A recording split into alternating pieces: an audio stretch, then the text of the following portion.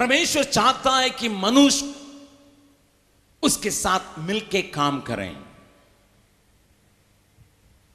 परमेश्वर चाहता है कि आपको वो सगभागी सब बातों में होने के लिए चाहता है। अगर आप बाइबल को देखेंगे, लगातार इस बात को महसूस कर सकते हैं। परमेश्वर यह नहीं है कि आपको छोड़ दिया, आपके साथ कोई मतलब नहीं रखता है। परमेश्वर ऐसा नहीं है। कहीं परे रहने वाला, दूर रहने वाला कोई कोई सोचता, परमेश्वर हमारे जीवन के साथ कोई ताल्लुक नहीं रखना चाहता है। नहीं। परंतु परमेश्वर चाहता है कि आपको लेके ही काम करें। आपके साथ मिलके ही काम करें। मैं यहाँ तक कहूँगा कि आपको आपको लेके काम करने से ही उनको भी लाभ है। मैं हमेशा कहता हूँ, एक लाइट को जलाने के लिए दो तार का दरकार पड़ता है। एक तार को हम लोग बिहार में कहते हैं गरम, और दूसरा ठंडा। पॉजिटिव नेगेटिव को बिहार में हम लोग गरम और ठंडा कहते हैं। गरम का मतलब उसमें ताकत रहता है, उसमें बिजली का ताकत पूरा पूरा है। अगर आप एक इंडिकेटर को लेके प्लग पॉइंट को जांचेंगे लाइट जलेगा, एक पॉइंट में, एक पॉइंट में लाइट नहीं जलता है। उसमें कुछ नहीं है। उसमें कुछ ताकत नहीं है वो ठंडा है, इसलिए उसको हम लोग कहते हैं ठंडा है। लेकिन, ठीक है, इसी में ही करंट है, केवल एक तार को लेके बल्ब को जुड़ाइएगा बल्ब जलेगा? नहीं नहीं नहीं, उसको एक ठंडा चार भी चाहिए ठंडा चार भी चाहिए। उसी प्रकार हमारे जीवन में, आपके जीवन में ज़रूर हम कुछ भी नहीं है, हमें खूबियाँ नहीं है हमें ताकत नहीं है, लेकिन परमेश्वर पूरा सर्वशक्तिमान है, ताकत से भरा हुआ है, वो चाहता हमको लेके काम करें। हम दुनिया के लिए उज्याला हो जाएँ, रोशनी फैलाएँ। जहाँ अंधकार है, वहाँ पर रोशनी को लाने के लिए आपके साथ परमेश्वर कार्य करने के लिए चाहता है। आपको लेके ही काम करने के लिए चाहता है। लेकिन मनुष्य इस मकसद को नहीं पहचानने की वजह से, इस बात को नहीं पहचानने की वजह से वो पीछे गसक जाता है। पीछे गसकने का कारण, कल सवेरे मैंने पत्रस के जीवन से कहा था। पत्रस के नाव पर प्रभु यीशु जब प्रचार करने के लिए आया, एक मकसद के साथ, और उससे कहा, मेरे पीछे हो लो। उसने कहा, मेरे, मैं पापी मनुष्य मुझसे अलग हो जाइए। कभी कभी मनुष्य अपने पाप से परेशान होने के चलते परमेश्वर के साथ रंगने रहने के लिए तैयार नहीं है। मनुष्य आज परमेश्वर के साथ जाने के लिए इसलिए तैयार नहीं, क्योंकि उसका पाप, उसका एक दीवार बन जाता है, रोक देता है, इसलिए वो करने के लिए तैयार नहीं है। कल मैंने आपको समझाया, और जैसा अर्पण करना है, हमने अर्पण किया, और हमने गीत गाया I have decided to follow Jesus यीशु के पीछे मैं चलने लगा। लेकिन आज मैं एक और व्यक्ति को मैं आपके सामने करने के लिए, खड़ा करने के लिए चाहता हूँ, जिसकी समस्या आपके जीवन में होने का संभावना है। कई लोगों को मैंने देखा जो अपने इस समस्या के कारण परमेश्वर जब चाहता है तो भी साथ जाने के लिए तैयार नहीं है।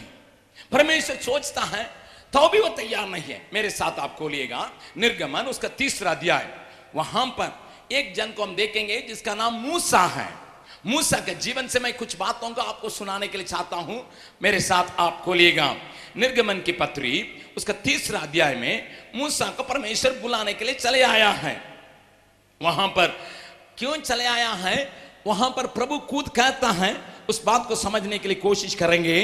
और तीसरा अध्याय सातवां पद को पढ़िएगा। सातवां और आठवां पद को पढ़ेंगे। फिर यहोवा ने कहा फिर यहोवा परमेश्वर ने कहा मैंने अपनी प्रजा के लोग मैं अपने प्रजा के लोग जो मिस्र में हैं जो मिस्र में हैं उनके दुख को निश्चय देखा है। मैंने उनको दुख को निश्चय देखा। थोड़ा ध्यान से सुनिएगा परमेश्वर हमारे दुखों को देखने वाला है। वो अपने लोगों के दुखों को देख करके कहा और मूसा से कहा सुनो सुनो मिस्र देश में मेरे लोग बहुत परेशान हैं तकलीफ़ में हैं। वे उनको मा, उनको मारा जा रहा है, उनको खदेड़ा जा रहा है, उनको सताया जा रहा है। मैंने उनको देखा और उनकी जो चिल्लाहट परिश्रम कराने वालों के कारण होती है उनकी चिल्लाहट जो परिश्रम कराने वालों के द्वारा होती है उसको भी मैंने सुना है। उसको भी मैंने सुना है भैया मैं सुना हूँ मैं चुपचाप नहीं रहा मैंने सुना इसलिए और उनकी पीड़ा पर मैंने चित लगाया मैंने उनकी पीड़ा पर चित्त लगाए सुनिए परमेश्वर न केवल देखता है न तो सुनता है न तो चित्त लगाया है। इस इसलिए अब मैं उतर आया हूँ इसलिए मैं उत्तर आया हूँ। कि उन्हें मिश्रियों के वश से छुड़ाऊं। उनको इस तकलीफ़ की दशा से मैं छुड़ाऊं। और उस देश से निकाल कर मैं उस देश से निकाल के एक अच्छे और बड़े देश में अच्छी और बड़े देश में जिसमें दूध और मधु की धारा बहती जिस है जिसमें दूध और मधु के धारा बहती है अर्थात बस वहाँ ले जाने के लिए चाहता हूँ। सुनिए भाई ये एक झुंड के लोग हैं। लगभग बत्तीस लाख लोग हैं। वे परेशानी में हैं, चिल्ला रहे हैं। दुख के चलते, दरख्त के मारे, मार खाने के चलते उनसे परिश्रम लेने वालों के द्वारा जो बिल्कुल चोट खाने के चलते, मारे जाने के चलते वो चिल्ला रहे हैं। परमेश्वर ने कहा, मैंने देखा मैंने सुना, मैंने चित लगाया, अभी मैं चुड़ाने के लिए आया हूँ। मैं उनको विशाल और एक दूध और मधु बहाने की जगह पर उनको ले जाके उनको सुख देने के लिए चाहता हूँ, उनको आराम देने के लिए चाहता हूँ, उनको मैं बिल्कुल आशीर्वाद देने के लिए चाहता हूँ। इसलिए मैं उत्तर आया। ठीक है? परमेश्वर अगर उत्तर आया तो फिर क्या करना भाई? परमेश्वर अगर उत्तर आया तो फिर क्या करना? कोई तो कुछ कारण, काम तो कर नहीं। आगे पढ़िएगा दसवां पद को। इसलिए आ इसलिए तुम आओ। मैं तुझे फिरौन के पास भेजता हूँ। परमेश्वर मूसा से क्या कहता है? तुम आओ। मैं उत्तर आया हूँ। मैं काम करने के लिए चाहता हूँ। मैं सामर्थ को दिखाने के लिए चाहता हूँ। मैं लोगों के तरस का ऊपर तरस का आया हूँ। मैं अपनी महिमा को दिखाने के लिए चाहता हूँ। मैं उनको आशीष देने के लिए चाहता हूँ। मैं उनको लेकिन तू आ। क्योंकि तेरे द्वारा ही काम करने के लिए मैं चाहता हूँ। तुझे लेके ही काम करने के लिए चाहता हूँ। बगल वाला का हाथ पकड़ के बोलेगा आपके द्वारा ही परमेश्वर दुनिया का आशीष दे सकता। है अगर आप इतनी बातों का समझ लेंगे, कितनी अच्छी बात हो जाएगी। सुनिए, ज़रूर परमेश्वर सर्वशक्तिमान है। ज़रूर परमेश्वर सर्वज्ञानी है। ज़रूर परमेश्वर सर्वव्यापी है, परंतु वो चाहता है मनुष्य के द्वारा ही, किसी मनुष्य के द्वारा ही उस आशीष को दुनिया का पहुँचाने के लिए चाहता है। मनुष्य कभी कभी इस बात को नहीं समझ पाता। मनुष्य परमेश्वर के साथ आने के लिए तैयार नहीं होता है। अगर मनुष्य समझ लेगा एक एक व्यक्ति ये समझ लेगा, मेरे द्वारा परमेश्वर दुनिया को आशीष देने के लिए चाहता है, दुनिया के बंधन को खोलना चाहता है, दुनिया के तकलीफ़ को दूर करने के लिए चाहता है, मेरे द्वारा परमेश्वर कार्य करने के लिए चाहता है, शक्ति तो मेरी नहीं है, उसकी है, परंतु मेरे द्वारा ही बहाने के लिए चाहता वाटर टैंक में पानी रहेगा, खाली रहेगा, उससे कोई मतलब नहीं, कोई पाइप चाहिए उसके द्वारा आप तक पहुँचने के लिए। आप एक पाइप के सामान एक तार के समान, जिसमें से बिजली बह के जाए, वैसे ही परमेश्वर आपको इस्तेमाल करने के लिए चाहता है और परमेश्वर चाहता है आपके साथ मिल के काम करें। अभी मूसा को परमेश्वर ने बुलाया। आप रहते क्या कहते हैं? आप उस जगह में रहते क्या कहते हैं? हाँ हाँ ठीक है प्रभु, अगर आप आए हैं, चलिए। एक बहुत बड़ा धनवान या मनमोहन सिंह आके कहते हैं, सुना बेटा हम हिंदुस्तान के लोगों के लिए बहुत कुछ करना चाहते हैं, लेकिन आपके द्वारा आप क्या कहेंगे प्राइम मिनिस्टर के हाथ पकड़ के चलेंगे। क्योंकि आपके पास तो सरकार है। अगर मनमोहन सिंह आपका हाथ पकड़ लेंगे और कहेंगे, मैं जा रहा हूँ भाई तो आप चलो। तो आप कहेंगे, सरकार है मेरे साथ तो क्या कार का दरकार है? चलने लगेंगे। लिसन लिसन लिसन लिसन लेकिन यहाँ मूसा ने कहा ना ना ना ना ना ना मैं इस काम के लिए नायक नहीं हूँ। मुझे बोलने बनता नहीं है, मुझे काम करने लगे लोग मुझे शक करेंगे, लोग मुझे मानेंगे नहीं, लोग मुझे ग्रहण नहीं करेंगे, लोग मुझे पहचानेंगे नहीं। कई प्रकार की बहानाबाजी कर रहा है। क्यों? Why man is not cooperating with God when God came down and inviting people to join with him? To do something extraordinary. जब परमेश्वर कूद आके, कहता, मैं उतर आया हूँ, मैं तुमको लेके जाऊँगा, तुम्हारे द्वारा ही मैं काम करने के लिए चाहता हूँ। मैं फिरौन के पास, जो शत्रु का नेता है, उसके पास जाऊँगा। मैं उसके हाथ में से, मेरे लोगों को छुड़ाऊँगा, लेकिन तुम आना होगा। आज भी कई जवान, कई बहन अपने जीवन में इस महान बुलहाट को समझने के लिए तैयार नहीं है।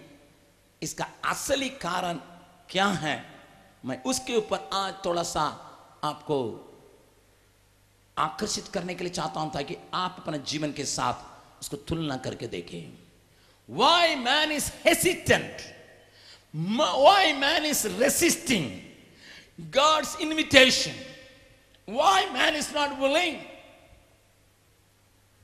भाई, बहन, जो कारण मैं बतलाने जा रहा हूँ, ये कई लोगों के जीवन में होने का संभावना है। मैं सवेरे आपके लिए प्रार्थना किया हूँ। मैं आपके आँखों का परमेश्वर खोलने के लिए मैं प्रार्थना करके आया हूँ। मैं चाहता हूँ कि आपकी आँखों का परमेश्वर खोलने पाए, आपका समझ को खोलने पाए। बंद करके मत रखिएगा। मूसा, जब जन्म हुआ था, मैं थोड़ा सा इधर उधर की बातों को बतलाऊँगा, फिर मैं वचन में आऊँगा। मूसा जब जन्म हुआ था, उस देश में फिरो ने एक आज्ञा रखा, कोई भी लड़का पैदा होगा, उसको खत्म कर देना, मार देना, या नदी में फेंक देना। बाप रे बाप, लड़की हो छोड़ दो। लेकिन दुनिया में आज क्या है, हिंदुस्तान में लड़की को मार दो। उस दिन में फिरो ने कहा, लड़की को छोड़ दो। लड़की को मारने के लिए जब कहने के चलते हमारे पास और छोटे छोटे छोटे लड़कियाँ हैं, जिसको लेके हम लोगों को पालना पड़ रहा है। लेकिन उन दिनों में लड़का हो उसको मार डालो, क्योंकि ये लड़के लोग बड़े हो जाएँगे जवान बनेंगे तो सैनिक बन जाएँगे, हमारे लिए खतरा है। हमारे लिए ये दुख की बात हो जाएगी, ये परेशान करेंगे, मेरे विरोध में लड़ेंगे। इसलिए लड़कों को खत्म कर डालो, लड़कियों को छोड़ दो। ऐसे वक्त में ऐसे समय में, जब मूसा पैदा हुआ, उसके माँ बाप ने देखा, बहुत सुंदर लड़का मारने का मन नहीं कर रहा बहुत सुंदर है, और देखा, उसकी माँ बाप विश्वासी होने के चलते, ये लड़का को परमेश्वर पैदा किया, इसके पीछे एक मकसद होगा, इसके पीछे एक परमेश्वर का मनसा होगा, इसलिए कैसा भी हो, इसको बचाएँगे। तो दो बड़े बच्चे भी थे, हारून और मिरियाम करके, उस घर में बड़े बच्चे भी थे उस समय कानून नहीं था तो बड़े थे, तीन साल के पहले, लेकिन अभी कानून निकल गया है, लड़का को मार डालना है। ये लड़का आगा। रोने इस समय, ये दोनों हल्ला करेंगे। हा चलाएँगे ताकि उसके रोने की आवाज़ बाहर नहीं सुनाई पड़े। तीन महीना तक बच्चा रखे। तीन महीना के बाद इसका रोने की आवाज़, इन लोगों का रोने से अधिक हो गया। इसलिए अभी घर में रखना खतरा है। घर में रखेंगे हमारा सारा परिवार को, सरकार सत्यानाश करेगा, हमको नहीं रहने देगा। एक काम करेंगे, एक टोकरी बनाएँगे टोकरी में बच्चा के रखेंगे, नदी पर रख देंगे। अगर परमेश्वर इसके पीछे कुछ मकसद रखा, परमेश्वर ही बचाए। उसकी बहन मिरियाम उस बच्चे को लेके नदी में ऐसे सरकंडों के बीच में रख दी बच्चा रोने लगा। और परमेश्वर का इंतज़ाम था। परमेश्वर का मकसद इसके जीवन में एक बहुत बड़ा था, इसलिए उस जगह में नहाने के लिए राजकुमारी चले आई। जब राजकुमारी चले आई और वो सुनी, कहीं तो बच्चा का आवाज़ सुनाई पड़ रहा है। ज़रूर ये बच्चा कहीं किसी इब्रानी घर का है, जिसको मारने के लिए मेरा बाप ने आज्ञा दिया है। तो इधर उधर देखी, और वहाँ टोकरी में एक सुंदर बालक है ले आई और कहने लगी, ये मेरी बच्ची मेरा रहेगा, ये मेरा रहेगा, ये मेरा बेटा रहेगा। और उसको मैंने जल से प्राप्त किया, इसलिए मूसा नाम रखा। नाम से ही उसका पता चला है, परमेश्वर का बहुत बड़ा योजना है, बचाया है। सुनिए, भाई बहन, ध्यान ध्यान से सुनिए। परमेश्वर ने उसके जन्म से ही उसके ऊपर नज़र रखा। उसके जन्म से ही उसके बच्चाते आया। जन्म से मारने योग्य, खत्म के योग, योग्य बच्चे को राजा का महल में जहाँ से आज्ञा निकला था, वहीं पर रख के पाला परमेश्वर ने। हाँ। कभी कभी हमारे जीवन में, आपके जीवन में एक बहुत बड़ा मकसद को परमेश्वर रखता है, हम शायद नहीं पहचान पाते हैं। बचपन से ही परमेश्वर का नज़र आपके ऊपर आपके ऊपर ज़रूर है। मैं हमेशा इस बात को कहता हूँ इन दिनों में, मेरे घर में आइएगा, मेरे पास एक नौ महीना का लड़की है। उसकी माँ जन्म देने से उसको रेल पटरी में रख दी ताकि रेल उसके ऊपर चढ़ के खत्म किया जाए। जन्म होने से उसको रेल पटरी में रख दी, लेकिन बच्चा रोते रोते रोते रोते, रुलकते रुलकते नीचे आया, रेल पार हो गई, बच्चा मरा नहीं, माँ तो छोड़ के चली गई। बच्चा मरा नहीं। लेकिन नीचे रो रहा था।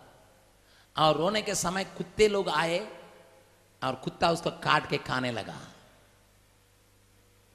एक बाएँ हाथ को पूरा का भी लिया, चबा दिया। उसके दहिने पाँव का दो उंगली को भी चबा दिया। जब कुत्ता खाता है किसी को तो कई साहब तो देखते होंगे, एकदम पटक पटक के खाया होगा। लेकिन उसमें भी बच्ची मरी नहीं है। उसमें भी बच्ची मरी नहीं है। किसी ने देखा, अरे, एक छोटा बालक अभी तक ज़िंदा है, लेकिन कुत्ता तो काया है। एक कपड़ा में लपेट के अस्पताल में पहुँचाया। अस्पताल वाला ने ना तो टेटनस इंजेक्शन दिया, ना तो कुछ दिया, ऐसे ही पड़ा रख दिया। जबकि मालूम हुआ हम लोगों को, हम ले आए। मेरी पत्नी मुझे फ़ोन कर रही थी, सुनिए एक बालक, बालिका मिली है और उसका हाथ हाथ को तो कुत्ता काट दिया। मैंने कहा, क्या किए हैं? हम अपना हॉस्पिटल में ले आए और उसका हाथ को अम्ब्यूट कर दिए हैं। उसका एक हड्डी लटका हुआ था, उसको निकाल के ऑपरेशन किया गया है। लेकिन एक कॉलर बोन लंबा था, वो बाहर दिखाई पड़ रहा था। उसको डांपने के लिए कोई मांस नहीं है। उस शरीर में मांस को निकाल के रखने के लिए जगह नहीं है। बाद में मुझे उस डॉक्टर से ही पता चला भैया हम भी डरती थी क्योंकि वो हड्डी बाहर निकलने से इन्फेक्शन हो जाता बच्चा मर जाता। लेकिन क्या जाने अक, आ, मेरी पत्नी और बहन लोग मिलके बिल्कुल दुआ किए। दूसरा दिन मांस आके अपने से डांप दिया। अभी ज़रूर इसका एक हाथ नहीं है। तो मेरे, मुझे मैं बाहर था।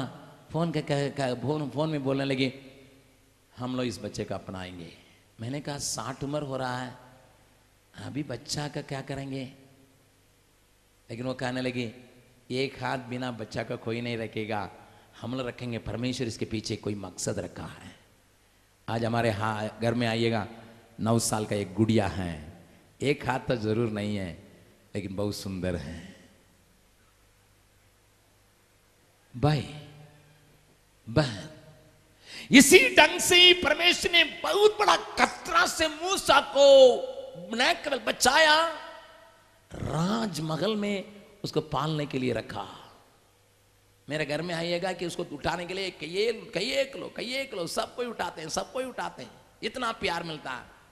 कहाँ की है मालूम नहीं, शायद गरीब घर की होगी, लेकिन अभी एकदम उसका एक एक समय में एक एक फराक पहनाया जा रहा है, पाउडर लगाया जा रहा है, उसका देखभाल करा थोड़ा सा भी गर्म रहेगा, तुरंत डॉक्टर के पास ले जा रहा है, इतना देखभाल हो रहा है, ज़्यादा ज़्यादा ज़रूरत से भी ज़्यादा, मेरे बच्चों को भी इतना पाले नहीं है, लेकिन अभी इस बच्चे के ऊपर इतना प्यार है।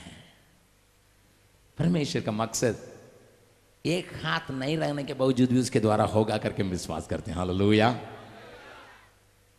भाई, आपके जीवन में परमेश्वर एक मकसद रखा है।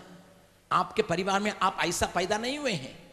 आप माँ बाप शायद आपको प्यार भी नहीं देंगे, लेकिन परमेश्वर पीछे एक मकसद रखा है। मकसद रखा है।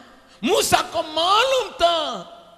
मूसा का ये बारी, सारी बातें मालूम हुआ जब वो सियाना हुआ। जब बड़ा हुआ, उसको मालूम हो गया। उसने सोचा मेरे हाथ से मेरे भाइयों को बचाने के लिए परमेश्वर ने राजमहल में मुझे पालन पोषण किया। समझ गया अपने जीवन के मकसद को?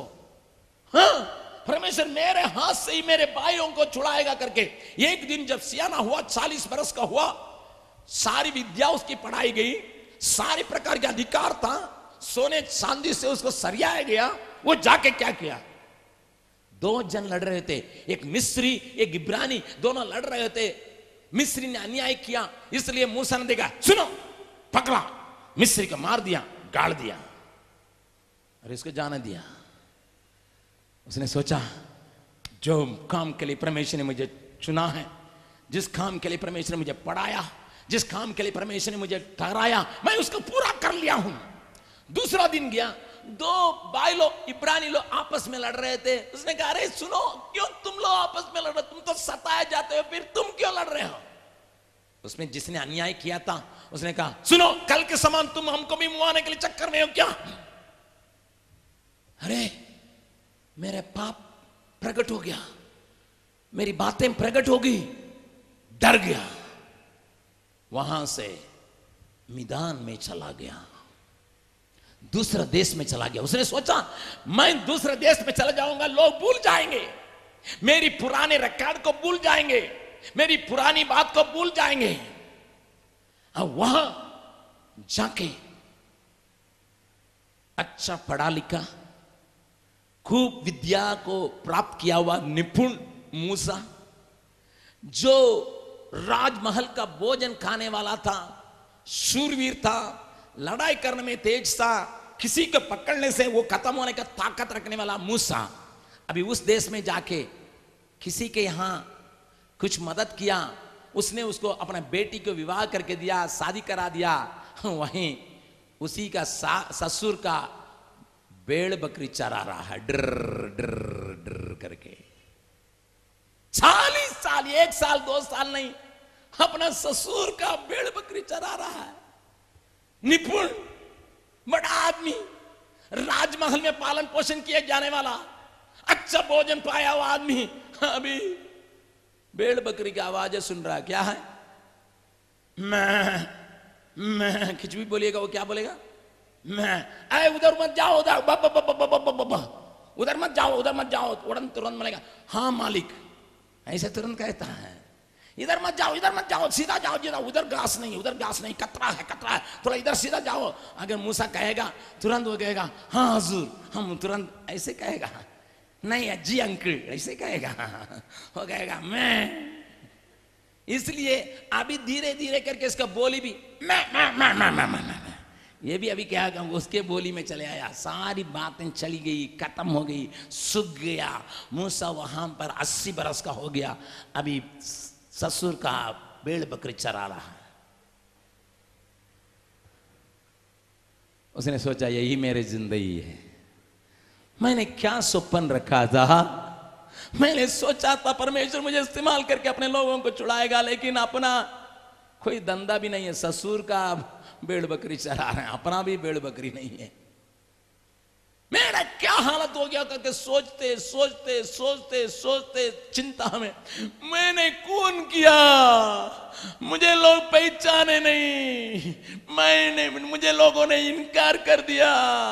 मेरी पुरानी बातें खराब है। मेरी पुरानी दशा खराब है। अभी का दशा भी खराब है। My past record is bad my present record is also bad. मेरे पीछे की बातें बिल्कुल खराब हो गया है। अभी का हालत भी ठीक नहीं है। एक दिन भेड़ बकरियों को चराते जब आया, वहीं पर परमेश्वर उसे बेंट किया। और कहा, मूसा, रोक। रोको मूसा, रोक। क्या? मैं उतर आया हूँ। मैं लोगों को चुड़ाने के लिए आया हूँ। तुम्हारे लोगों को चुड़ाने के लिए आया हूँ। लेकिन मुझे एक आदमी का दरकार है। मैंने तुम्हारे ऊपर आज से नहीं, जब तुम माँ के गोद में गोद में था, उसी समय से चित लगाया हूँ। तुम देश छोड़ के चले आए हो, मैं पीछे आया हूँ। मैं तुमको मीर फिर उस जगह में, जहाँ से तुम गिर गए हो, वहाँ पर ले जाऊँगा। मूसा कहता है नहीं नहीं, आप दूसरे आदमी को देखिए। मैं ठीक नहीं हूँ। मेरा पुरानी बातें मुझे सता रहा है, साहब। मेरी पुरानी आदतें मुझे सता रहा है। मैंने जो कुछ पीछे दिन में किया था, वो मुझे सता रहा, उससे मुझे छुटकारा नहीं मिला है कि आप कैसा मुझे इस्तेमाल कर सकते हैं। नहीं, मैं नहीं आ सकता, मुझे बोलना नहीं आता। आपका नाम कर दो लोग पूछेंगे, मुझे मालूम नहीं है। आपको दूसरा आदमी के देखना होगा कि मेरे पीछे मत पड़िएगा। भाई, आज सवेरे कई लोग प्रभु के साथ चलने के लिए तैयार नहीं, क्योंकि उन्होंने गुप्त स्थान में औरों के जानकारी बिना माँ बाप के जानकारी बिना दोस्तों के जानकारी बिना समाज के जानकारी बिना जो गुप्त स्थान में अंधकार में किया था वो खुद भी जानते हैं वो उनको सता रहा सता रहा है खींच रहा है they are filled with guilty conscience They are filled with guilty conscience. They are dragging themselves. No, no, no. मैं कुछ नहीं रह सकता हूँ। मैं इस्तेमाल का योग्य बर्तन नहीं हूँ। मैं अपने परमेश्वर की मनसा का पूरा नहीं कर सकता हूँ, क्योंकि मेरा पिछले कर अभी शायद इस मीटिंग में आने से मैं ठीक हुआ, लेकिन मेरा पुराना रिकॉर्ड नहीं नहीं नहीं नहीं नहीं। नहीं मैं नाम करके एक जगह है तमिलनाडु में शहर हम प्रचार करने के लिए जब मैं चढ़ा लगभग दस हज़ार लोगों के भीड़ में प्रचार करके जब नीचे आया, जिससे मुझे जानकारी थी, वो बहन वहाँ रो रही थी। उसने मुझसे कहा, अंकल आपसे मुझे एक मिनट की बातचीत करना है। मैंने कहा, और लोगों के लिए मैं प्रार्थना करने के बाद तुम्हारे से बात करूँगा। मैं उसको अच्छी तरह से जानता था, जब जवान थी, मेरी मीटिंग में आती थी बहुत खुशहाल लड़की थी, बहुत खुश रहती थी, प्रभु में आगे बढ़ने वाली बहुत अच्छा थी, अच्छी थी। जब उसकी शादी हुई, बहुत सुंदर लड़का से शादी हुआ अच्छा लड़का है, घर भी अच्छा था और अच्छी तरह से शादी हुई। तो लेकिन अभी पूरा पूरा आंसुओं से भरी हुई है, उसका मुँह फूला हुआ रोते रोते जब सब लोग चले गए, मैं उसके पास जाके पूछा, क्या बेटी, क्या है? वो कहने लगी रोते रोते कहने लगी अंकल आप तो मुझे जानते हैं। आप तो मेरी शादी के बारे में जानते हैं। आप तो मेरे सास के बारे में जानते हैं। मैंने कहा ये सारी बातें जानते हैं तो, तो तुमने कहा कि बहुत अच्छे सास मिले हैं। मुझे बेटी जैसा मानती है सब ठीक है। उनका एक ही बेटा है और मेरा ससुर तो मर गया करके तुम कही है। एक ही बेटा के साथ सास है और तुम लोग तीनों प्राणी बहुत आनंदित करके तुमने कहा था। लेकिन अभी क्या हो गया बेटा? क्या हो गया? कहने लगे अंकल, क्या कहेंगे? अंकल, क्या कहेंगे? ज़रूर सास मुझसे प्यार करती थी। अपने बेटा से भी प्यार करती थी। लेकिन हमेशा ये कहती थी, तुमको बेटा नहीं होना है, जल्दी बच्चा नहीं होना है। क्योंकि ये डर था अगर हमारे घर में एक बच्चा आ जाएगा, प्यार उनके चला जाएगा, हम लोग सांस को भूल जाएँगे करके वो डर के मारे। हमसे हमेशा कहते, तुमको बच्चा नहीं होना, तुमको बच्चा नहीं होना, तुमको बच्चा अकेले में बोलती थी, पढ़ाते रहती थी, पढ़ाते रहती दिन भर रटते रहती, तुमको बच्चा नहीं होना, तुमको बच्चा नहीं होना, तुमको बच्चा नहीं होना, जल्दी नहीं होना, जल्दी नहीं होना है। लेकिन मैं क्या करूँ? मैं क्या करूँ? जब मैं गर्भवती हुई, जब उल्टी करने लगी, उसको गुस्सा आया। उस समय तक माँ का प्यार देने वाली अभी राक्षस बन गई। गुस्सा आने लगा। ए, मैंने कितना बार कहा तुमका बच्चा होना नहीं है बच्चा होना नहीं है लेकिन क्या हो गया? मेरी बात को थोड़ा ध्यान से सुनिए। तो मैं रोते रही। मेरे आदमी को बतला नहीं सकती थी। मेरे आदमी तो बहुत खुश हैं। हमको एक बेटा होने वाला है करके। लेकिन तीन महीना तक मुझे सताते रही सताते रही चलो डॉक्टर के पास, चलो डॉक्टर के पास। उस गर्भ को खराब कर देंगे, उसको उसको खराब कर देंगे, उस बच्चे को खराब कर देंगे। डॉक्टर के पास जाओ जाओ चिंता कर उनको चिल्लाते रहती थी। मेरा आदमी तो सुबह नौ बजे ऑफ़िस में चले जाते थे, रात को सात बजे लौटते थे। बीच में मैं और सास सात अकेले घंटों घंटों मुझे बैठा के समझाती थी, क्या है तुमको इतना जल्दी बच्चा का? क्या दरकार है? चलो डॉक्टर के पास आभाषण कर लेंगे। मैं भी परेशान होके, जब चौथा महीना का होने वाला था, मैं सांस को खुश करने के लिए अपने आदमी से कहे बिना डॉक्टर के पास गए। वहाँ मेरा जो बच्चा पेट में था, उसको खराब कर दिए, गिरा दिए अभाषण कर दिए। उसके बाद मैं सो नहीं पा रही हूँ। उसके बाद मैं सो नहीं पा रही हूँ, अंकल सो नहीं पा रही हूँ। दिन में भी आँख बंद करती हूँ। मालूम पड़ता है एक सुंदर लड़का मेरे पास आके, मम्मी मम्मी, तुमने मुझे मार डाला करके कहता। रात को सोने के लिए कोशिश करती हूँ तो रात में भी वो आता है और कहता है, मम्मी मम्मी, तुमने मुझे दुनिया में आने नहीं दिया, मार डाला। मैं दो महीना से परेशान हूँ, अपना आदमी से कह नहीं पाता हूँ, अपने घर वालों से कह नहीं पाता हूँ। मुझे ये सता रहा, अंकल, मुझे सता रहा I am guilty I am guilty I am guilty मैं दोषीदार हूँ।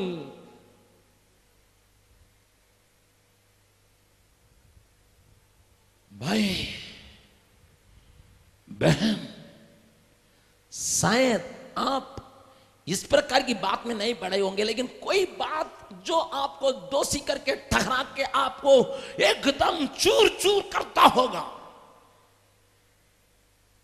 दो महीना के पहले मैं ऑस्ट्रेलिया में था।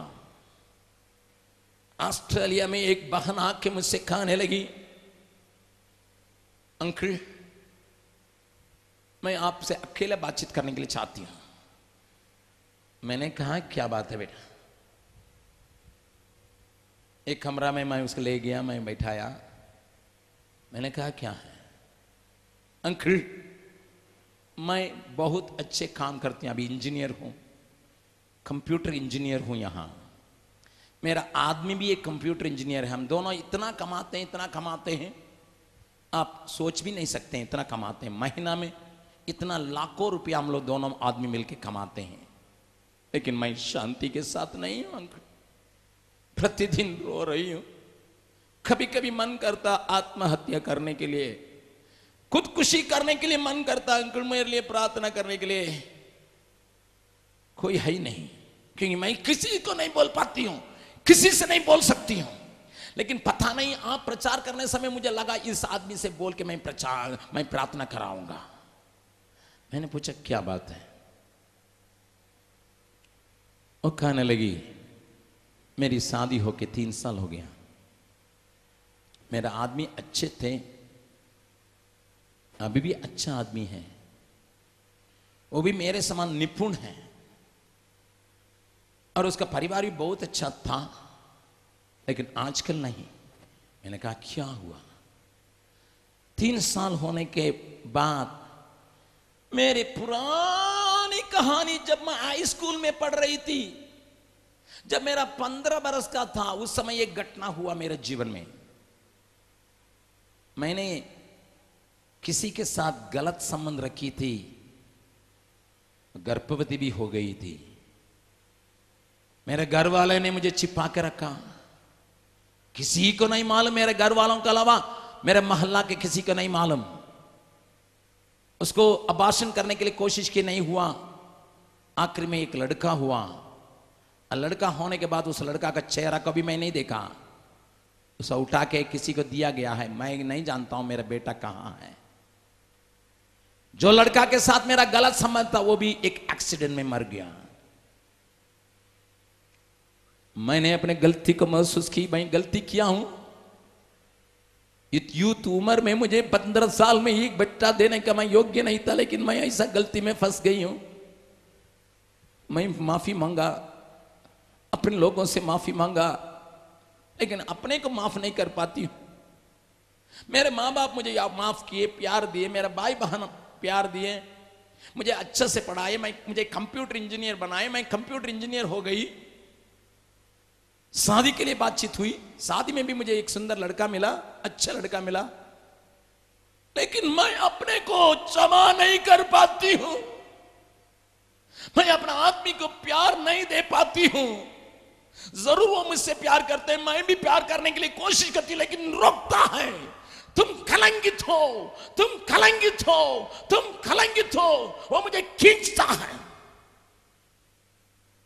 मैं परेशान हूँ, अंकल। मुझे शक लग रहा है कि मेरा आदमी को कैसा भी हो, कैसा भी हो, कुछ पता लग गया होगा करके मैं शक करती हूँ। मुझे नहीं मालूम है, वो उनको मालूम है कि नहीं। जब कभी वो प्यार करने के लिए मेरे नाम को लेते हैं, तब मेरे अंदर तक इनका मालूम होने से क्या होगा मेरा हालत? ये बात अगर मालूम हो जाएगा, मेरा जीवन क्या होगा? ज़रूर महीना में दो लाख रुपया से बढ़कर मैं अढ़ाई लाख रुपया तक कमाती हूँ एक एक महीना।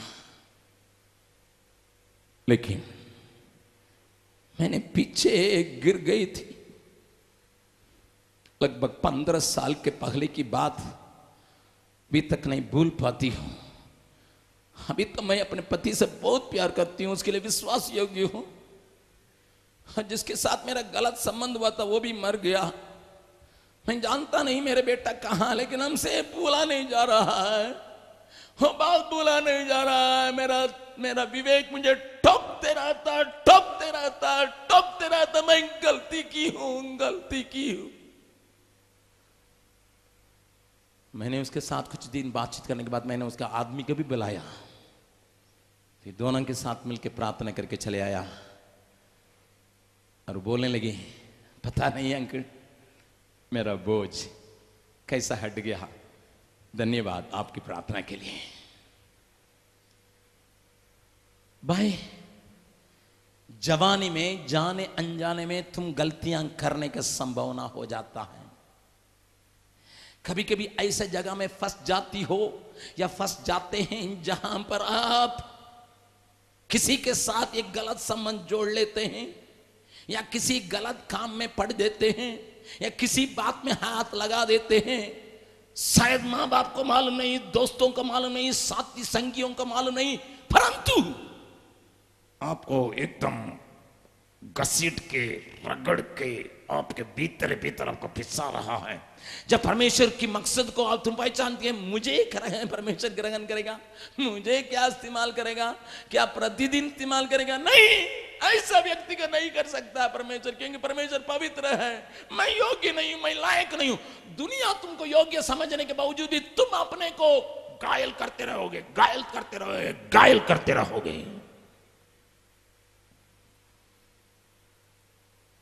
मैं एक व्यक्ति को जानता हूँ अपना शहर में। उनका तीन बेटे थे। उसमें दूसरा बेटा थे, बहुत कामयाब था। उनका कारोबार बहुत बड़ा है। जापान का माल यहाँ से बेचते हैं। और पूरा यूरोप में उनका माल जाता है। बहुत बड़ा सी फ़ूड बिज़नेस रखे हैं। बहुत बड़ा। लेकिन उनका दूसरा बेटा का मृत्यु अचानक हुआ। मालूम नहीं। अभी तक मालूम नहीं हो रहा, कितना लाखों रुपया खर्चा कर लिया मालूम नहीं हो रहा। लेकिन क्या कारण है? उस लड़का के पास एक छोटी सी बात रही जो माँ बाप नहीं जानते थे। थोड़ा सा हीरोइन लेने का। थोड़ा सा हीरोइन लेने का। पाँच मिलीग्राम लेता था। दोस्तों के संग में घर का सब काम करेगा, बाप का सब काम करेगा, बाप का पैर दबाएगा, इसलिए बाप ने सोचा, मेरा लड़का इतना अच्छा है, मेरा पैर दबाता है, इतना लाखों रुपया का प्रतिदिन की कमाई है, लेकिन तो भी मेरा बेटा उसी के लेके मौज नहीं करता, लेकिन मैं, मेरा पैर को मज़ाक करता है, मालिश करता है। लेकिन एक दिन उस मेक, मौके को इस्तेमाल करके कुछ दोस्तों दोस्तों ने ले गया, ले जाके उसको ऐसा चढ़ाया बर्दाश्त से बाहर मर गया। अभी तक उसका बाप चिल्लाते रहते हैं, क्या हो गया मेरे बेटा को? क्या हो गया? ए लिटिल थिंग छोटा सा हीरोइन भाई, शायद इस मीटिंग में आने के बाद तुमने परमेश्वर का प्यार को महसूस किया। इस मीटिंग में आने के बाद परमेश्वर के विचार जो आपके जीवन के लिए उसको देखा। इस मीटिंग में आने के बाद आपको मालूम हो रहा है कि परमेश्वर आपके पीछे एक बहुत बड़ा योजना रखा है। आपके द्वारा एक बहुत बड़ा काम करने के लिए चाहता है। आपके द्वारा कई हज़ारों, लाखों लोगों को आशीषित देने के लिए चाहता है। लेकिन आपका मन आपको दोषी ठहराता है, दोषी ठहराता है, दोषी ठहराता है। चेत करके आप आगे नहीं बढ़ पाते। आप पूछेंगे, अंकल मेरे हालत यही है। मेरे हालत यही है। यहाँ कई एक बहनों के चेहरा से मुझे दिखाई पड़ता है कि आपने जो बीते दिनों में जाने, अनजाने में जिस बात में फंसाता उस बात से छुटकारा तो पा लिया, लेकिन वो पुरानी बातें का दाग आपको सता रहा है दिखा रहा है। शैतान उसको दिखा रहा है, देखो देखो देखो देखो, अभी तो छुटकारा पा गया, लेकिन अभी पुरानी बातों का क्या होगा, पुरानी बातों का क्या होगा, पुरानी बातों का क्या होगा? दाऊद नामक एक राजा युद्ध में जाने की जगह पर वो बैठ के अपना कोठरी में गुम रहा था, फिर ऊपर छत में गया, छत से देखा, दूसरे के घर को और देखा, वहाँ दूसरे के बाथरूम दिखाई पड़ रहा था। बाथरूम को उसने देखा, वहाँ पर एक नहा रही थी, बड़ी सुंदर थी। हाँ और ये मोहित हुआ, अपना सिपाहियों को बेच के उसको बुलाया और उसको भ्रष्ट कर दिया। भ्रष्ट करके उसको घर भी वापस भेज दिया। जबकि उसका आदमी फौज में था, युद्ध करने के लिए गया था। कुछ समय के बाद उस औरत ने उसको खबर भेजी, राजा जी, मैं अभी गर्भवती हूँ। ज़रूर एक वक्त आपने मेरे साथ कर आप काम किया, लेकिन मैं गर्भवती हूँ, मैं कहाँ जाऊँगी? कहाँ अपना मुँह दिखाऊँगी? मेरा आदमी तो फौजी में है, आप ही का फौजी में है। वो तो युद्ध के मैदान में है। जब उसको मालूम हुआ, फौजी से उस आदमी को बुलाया, अपने पाप को छिपाने के लिए कोशिश किया, उस आदमी जब आया, उसको छुट्टी दे के घर जाओ भाई, घर में आके आराम करके फिर आके हमसे बातचीत करना। लेकिन वो बेचारा घर नहीं गया, राजमहल में ठहर गया।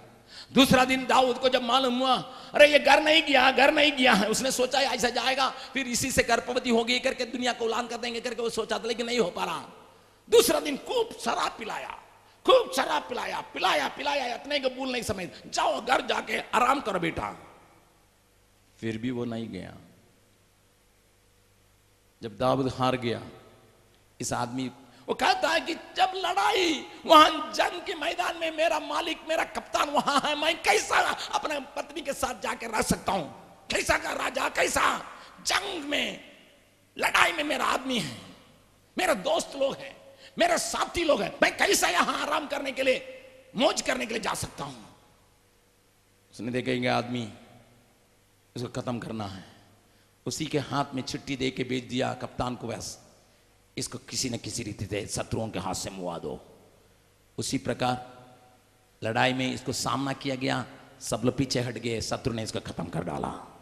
जब वो लड़की बदसेबा का मालूम हुआ, राजा दाऊद ने वो विधवा से शादी करने के दुनिया का दिखा एक विधवा को मदद कर रहे हैं करके मदद के रूप में उसको शादी कर दिया। लोग किसी का पता नहीं। लोगों ने सोचा, राजा कितना अच्छा है। ये किसी विधवा का शादी करके, इसने कितना सामाजिक सेवा किया करके, लोगों ने सोचा, लेकिन किसी का पाल मालूम नहीं, इसने क्या कुकर्म किया। लेकिन उसका हालत क्या है मालूम है? दुनिया को मालूम नहीं, केवल बदसेबा और दाऊद को मालूम है, किसी और को मालूम नहीं। लेकिन वो अपने हालत को लिख कर रखा है, पढ़िएगा, भजन संगीता, अड़तीस। भजन संगीता अड़तीस में वो खुद लिख के रखा है। वहाँ देखिए। पहला पस्सा लेकर पढ़ेंगे। हे यहोवा। ऊपर का पढ़िएगा पहले। ऊपर का पढ़िए। लिखा है ना? ऊपर। हम्म। यादगार के लिए दाऊद। यादगार यादगार के लिए दाऊद का भजन संगीता सुनिए। यादकारी के लिए उसने लिख कर रखा यह भजन को। क्या लिखा हे यहोवा अपने प्रकोप में मुझे ना झिड़क। ये यहोवा अपने प्रकोप में मुझे न भड़क ना अपने भड़कते हुए क्रोध में मेरी ताड़ना कर। हम्म, क्योंकि तेरे तीर मुझे गहरे लगते हैं। सुनिए तेरे तीर मुझे घेर लिया और मुझमें लगा है। और तेरे हाथ ने मुझे नीचे दबा रखा है। तेरा हाथ ने मुझे दबा कर रखा है। तेरे क्रोध के कारण मेरे शरीर में कुछ भी आरोग्यता नहीं। तेरे क्रोध के कारण मेरे शरीर में कोई भी आरोग्यता नहीं है। मेरे पाप के कारण मेरी हड्डियों में कुछ भी चैन नहीं मेरे पाप के कारण मेरे हड्डियों में कोई भी चैन नहीं है। क्योंकि मैंने अपने अधर्म के कामों में सिर तक डूब चुका हूँ। क्योंकि मैं अधर्म के काम में सिर तक डूब चुका हूँ। और वे भारी बोझ के समान मेरे लिए भारी बोझ के समान मेरे लिए है। असह्य हो गए हैं। ऐसे ही हो गया है। मेरी मूर्ता के कारण मुझे लगे कोड़े के घाव। मेरी मूर्ता के कारण मूर्ता के कारण मेरे मेरे कोड़ जैसा लग रहा सड़ रहा बहक रहा है। मैं दुख से झुककर बहुत नीचे दब गया हूँ। दुख से झुककर बहुत दब गया हूँ। और दिन भर विलाप करता फिरता हूँ। दिन भर विलाप करता फिरता हूँ this is the condition of anybody who is trying to hide the sin. यही हालत है सबका, जो अपने पापों को बीती हुई बातों को बीत रहे, अपने अप, अंदर रख के गुड़क गुड़क के पीते रहते हैं। दोस्तों को मालूम नहीं, बाप माँ को मालूम नहीं, औरों को मालूम नहीं, केवल मुझको मालूम है, लेकिन ये मुझे पीछे खींचती है। The guilt kills a person. Anybody who is under the guilt will be killing himself like this man. वो कहता मेरे हड्डी हड्डी सड़ रहा मैं कह रहा मैं बाहर हंसता हूँ हंसती हूँ लेकिन भीतर की बातों को कोई नहीं जान रहा मेरी भीतर की बातों को कोई नहीं जान रहा मेरा गलतियाँ मेरे सामने चले आता बार बार चले आता मैं कुछ नहीं रह सकती हूँ कुछ नहीं रह सकता हूँ हंसता हूँ बोलता हूँ लेकिन जब मैं अकेले हो जाता हूँ मुझे सता रहा है भाई इस सवेरे के समय आपका हालत यही हो सकता है। आप भी सोचे होंगे, परमेश्वर के हाथ के नीचे मैं दब रहा हूँ। मूसा का भी यही समस्या थी। दाऊद का भी यही समस्या है। चिल्ला रहा है। शायद आपको भी यही समस्या है। अगर आप इससे छुटकारा पाने के लिए चाहते हैं? अगर आप इससे छुटकारा पाएँगे, तब भी आप परमेश्वर के साथ चलने के लिए तैयार रहेंगे। परमेश्वर तैयार है। परमेश्वर ने क्षमा कर दिया। परमेश्वर ने आपको दो डाला तो भी पुरानी बातें आपके अंदर आपको खींच के रखी हैं। अगर इससे जब तक छुटकारा नहीं पाइएगा, आप आगे नहीं बढ़ पाइएगा। मेरे पास एक आदमी दौड़ के आया। उसका लड़की की उम्र सात है। सात उम्र की एक लड़की है। दौड़ के आके विलप विलप के रोने लगा। मैंने पूछा, क्या भैया बोल के रोइए मेरे लड़की सात साल की एक नासान, एक नादान बच्ची है। उसको एक लड़का ले जाके उसको क्या क्या सिखाया क्या क्या खराब किया, मेरे लड़की के जीवन को बर्बाद कर दिया। मैंने कहा बहुत दुख की बात है लेकिन उसने कहा, बस भैया, इस दुख से हमको बहुत और दुख है क्योंकि मैंने जवानी में ऐसे ही किया था, वो मेरे लड़की के ऊपर पलट हुआ, पलट गया है I was like this when I was an young man. I was like this. I have spoiled the life of few girls.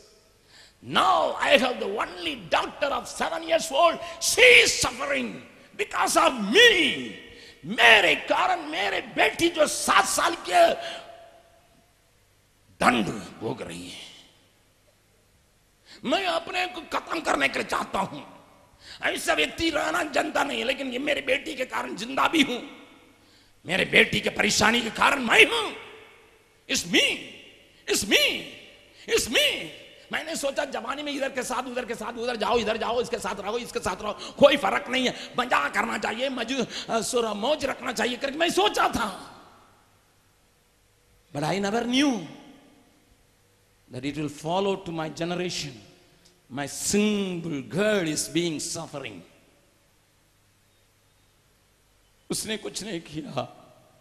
मैं परेशान जवान बहन, शायद आज गुड़ गुड़ के अपने के अंदर छिपा के रख के चल सकेगो। हा, अगर आप यहाँ कोई हिंदू घर से आए हैं, आप सोचेंगे ये जबक कुमार का कुछ पता नहीं, ये काली सबको मसीह बनाने के चक्कर में। I am not talking about a religion I am talking about you शायद आप सरना धर्म मानने वाले हो उस घर से आए होंगे आप सोचे होंगे अरे ये यूथ कैंप यूथ कैंप कहते हैं कौन है करके समझने के लिए खाली ईसाई बनाने के चक्कर no I am not interested in religion I am interested in you you should not suffer you should not suffer in the later stage you should not suffer that is why we are crying spending money and spending our energy putting all our soul putting all our energy listen.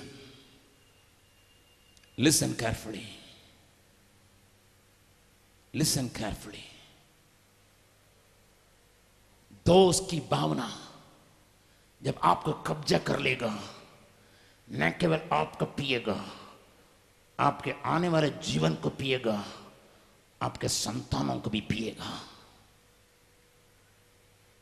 तो आप कहेंगे, uncle मुझे क्या करना उससे बचने के लिए? उससे बचने के लिए मुझे क्या करना उसी दाऊद से पूछे क्योंकि दाऊद के बारे में बाइबल बतलाती है, परमेश्वर के प्रिय जन है। दाऊद के बारे में बाइबल बतलाती है, यीशु मसीह भी दाऊद के संतान बन के आया था। बाइबल बतलाती है, दाऊद को एक सिंहासन, दाऊद का सिंहासन कहा गया है। बाइबल बतलाती है, दाऊद का स्टार इसराइल का फ्लैग में भी पाया जाता है। इतना गिरा हुआ दाऊद कैसा उबर गया कैसा आ गया कैसा आगे आ गया परमेश्वर का प्रसन्न योग्य हो गया परमेश्वर का इस्तेमाल योग्य हो गया कैसा? पढ़िएगा भजन संगीता बत्तीस पहले पद से लेकर पढ़िएगा। भजन संगीता का बत्तीस पहले पद से लेकर पढ़िएगा। क्या ही धन्य है वह? क्या ही धन्य है वो जिसका अपराध क्षमा किया गया जिसका अपराध क्षमा किया गया और जिसका पाप ढांपा गया हो। जिसका पाप डांपा गया हो। क्या ही धन्य है वह अभी चिल्ला के गीत गा रहा है किसके अपराध क्षमा किया गया जिसके अपराध बोला गया है वो धन्य हो अं। क्या ही धन्य है वह मनुष्य। क्या ही धन्य है वो मनुष्य। जिसके अधर्म का यहोवा लेखा ना ले। जिसका अधर्म का यहोवा लेखा न ले। और जिसकी आत्मा में कपट ना हो। जिसकी आत्मा में कपट न हो।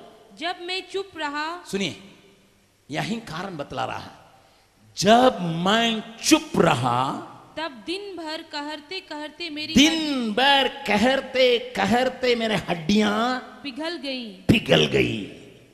हाँ, क्योंकि रात दिन क्योंकि रात दिन मैं तेरे हाथ के नीचे हे परमेश्वर तेरे हाथ के नीचे दबा रहा। और मेरी तरावट धूप काल मेरी तरावट धूप काल की नाई। बुराहट बनती गई। बुराहट बनते गई। जब मैंने अपना पाप तुझ पर प्रकट किया। लेकिन लेकिन लेकिन जब मैंने अपने पाप तुझ पर प्रकट किया और अपना अधर्म ना छिपाया। अपना अधर्म ना छिपाया और कहा और कहा मैं यहोवा के सामने अपने अपराधों को मान लूँगा। मैं यहोवा के सामने अपने अपराधों को मान लूँगा। तब तूने मेरे अधर्म और पाप को क्षमा कर दिया। तब तूने मेरे अधर्म और पाप को क्षमा कर दिया। इस कारण इस कारण हर एक भक्त हरेक भक्त तुझसे ऐसे समय में प्रार्थना करे ऐसे समय में प्रार्थना करें जबकि तू मिल सकता है। तो मिल सकता बस। In the Tamil translation, it says, Lord, you have taken off my guilt. प्रभु तूने मेरे दोष को भी हटा दिया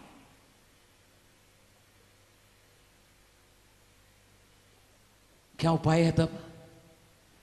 आपको, मुझको एक ही उपाय है इस प्रकार के बाहरी दंड से, बाहरी खिंचाव से, बाहरी बातों से बचने के लिए। वो ये है। अपनी बातों को परमेश्वर से प्रकट करना। कन्फेशन मेक्स यू क्लियर अब पूछेंगे, भैया, किससे प्रकट करना? मैं ये नहीं कहता हूँ, जाके आप अपने माँ बाप को या दोस्तों को जो आपको खिल्ली उड़ा सकते हैं, उनसे नहीं। आपका दोस्त को अगर शायद बताइएगा, वो आपका खिल्ली उड़ाएगा। अरे, इसके बारे में मालूम नहीं है। ये ऐसा था, मुझको बताया। खिल्ली उड़ाने वाला के पास नहीं। लेकिन you have to confess to somebody who loves you जो आपसे प्यार करता है, जो आपके लिए दिल में दर्द लेके प्रार्थना करने के लिए तैयार है, जो आपके लिए सुरक्षा दे सकता है, जो आपको पूरी तरह से सुरक्षा दे के आपको संभालने के लिए ताकत रखता है, उस आत्म व्यक्ति को पहचानिए। हो सकता है आपका प्रेयर ग्रुप का लीडर हो सकता है आपका पास्टर शायद कभी कभी पास्टर लोग भी खिल्ली उड़ा सकते हैं। लेकिन आप जिसके ऊपर भरोसा रख सकते हैं, ये आदमी मेरा सुरक्षा के लिए, मेरे भलाई के लिए काम करने वाला है। उससे अपने भीतरीय जो तकलीफ़ देने वाली, दोष लगाने वाली बातों को प्रकट करके क्षमा मांगे। प्रभु क्षमा करेगा, आप भी आज़ाद होंगे।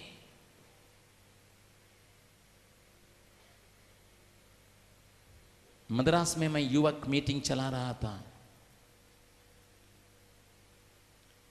अपना चर्च की यूथ लीडर में से एक जन मेरे पास आया और कहने लगा, अंकल, आपसे एक मिनट के लिए बातचीत करना। मैंने कहा, क्या बेटा? कहा, मैं अपनी बातों को आपके सामने रखूँगा, आप मुझे गीना करेंगे। मैंने कहा, नहीं, प्यार करूँगा। फिर कहने लगा, अंकल, मेरे बारे में आप नहीं जानते हैं कि मैं इतना बड़ा पाप में फंसा हुआ आदमी हूँ। आप मुझसे गिर ना करेंगे, आप मुझसे प्यार नहीं करेंगे। मैं किसी चर्च का चर्च लीडर हूँ, यूथ लीडर हूँ। एक, पाँच लीडर हैं, वहाँ एक लीडर मैं भी हूँ। मैं बाहर सेवकाई के लिए भी जाता हूँ।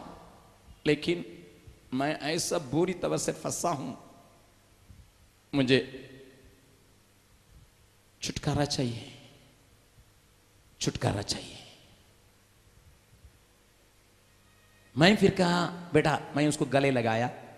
गले लगा के कहा, बेटा, कहो, मैं तुमसे प्यार करूँगा। तुम्हारा पाप कुछ भी हो, मैं तुमसे प्यार करूँगा। उसने कहा, अंकल, एक और बार मुझे वचन दीजिए, आप मुझसे मेरे कहने के बाद भी प्यार करेंगे?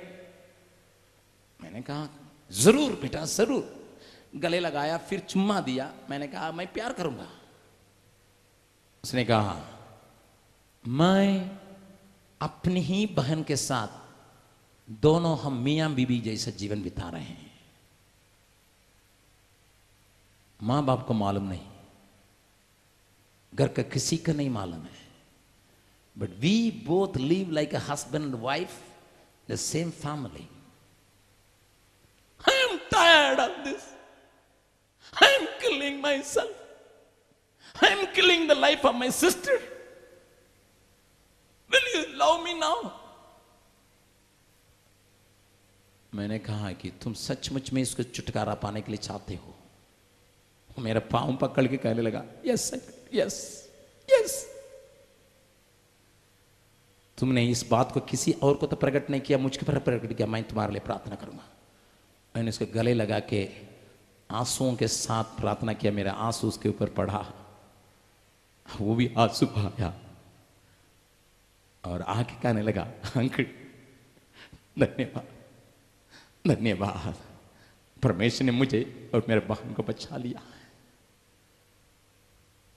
मैं जब मैं उस जगह में गया था जहाँ वो रहता था, मुझे मुलाकात करके thank you uncle I am a relieved man saved man बचाया हुआ व्यक्ति।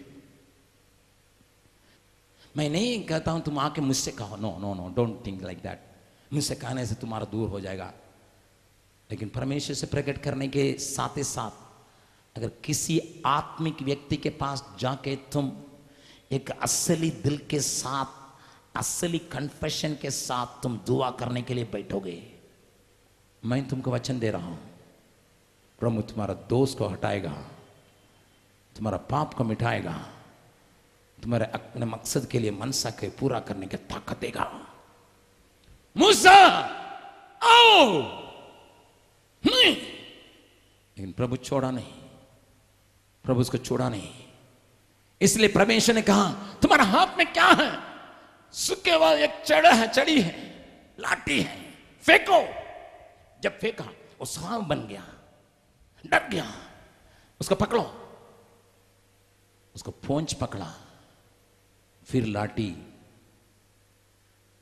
यही मेरा है। तुम सांप की नाई दूसरों को डसाने वाले थे। लेकिन अब अब मैंने जीव तेरे जीवन को उलट के ठीक कर दिया। जाओ। उसके बाद ही मूसा के हिम्मत आया। हम्म प्रभु का काम मैं भी कर सकता आज सवेरे परमेश्वर यहाँ आया है। तुम्हारा जीवन की पुरानी बातें कुछ भी हो, जो तुम्हें सताता है कभी कभी स्वप्न के द्वारा आता है कभी कभी दूसरों के मुँह से जब बातें निकलती है तो आपके अंदर डर आ जाता है। हे, पहचान लिया क्या? पहचान लिया क्या? पता लग गया क्या? कोई बात नहीं। आज आज। प्रभु तुम्हें छुड़ाने के लिए आया है। दोस्त की भावना से तुमको रक्षा करने के लिए, तुमको संभालने के लिए आया है। अगर तुम सच्चे दिल से प्रभु से कहोगे, जब तक मैंने अपने पाप को छिपा के रखा, मेरा हड्डियाँ पिघलती गई, सुखती गई, अब अब अब मैं अपनी बातों को तुझ पर प्रकट करता हूँ। ये यहोवा, संभाल। अगर आप ऐसे करने के लिए तैयार हैं, इस सुबह के घड़ी में परमेश्वर आपके साथ बर्ताव करके आपका एक उपयोगी बर्तन बनाने के लिए तैयार है। God wants to make you a useful vessel You may be walking and working for God even sometimes. You may be working and working for God, but still something is hooking you and pulling you down, and you are unable to forgive yourself. अपने को क्षमा नहीं कर पाते हो सब कोई घुटना में आए